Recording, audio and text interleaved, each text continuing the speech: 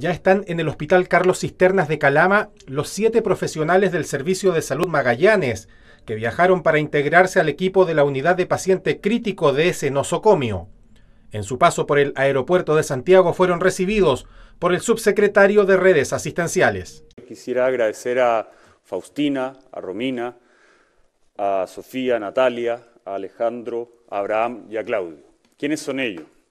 Ellos son un equipo de salud del Hospital de Punta Arenas, que han viajado el día de ayer más de 4.000 kilómetros para apoyar a sus compañeros del Hospital de Calama.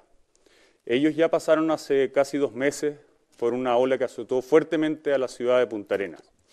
Y toda esa experiencia de este equipo de salud que ha viajado más de 4.000 kilómetros se va a trasladar también a apoyar al Hospital de Calama, a la ciudad de Calama, a los calameños, debido a que en esa ciudad estamos teniendo todavía casos altos de coronavirus. Es una respuesta del sistema de salud gestionado como una unidad para reforzar a la región nortina que tiene hoy los más altos índices de la enfermedad. Y hoy día estamos mandando un equipo que permita apoyar a la segunda región, que es hoy día la más demandante a nivel país. Eh, es increíble hoy día cómo las tasas de pacientes positivos, además la tasa de mortalidad y la tasa de pacientes que están en la UCI en la segunda región es muy grande y por lo tanto necesitamos apoyarlo.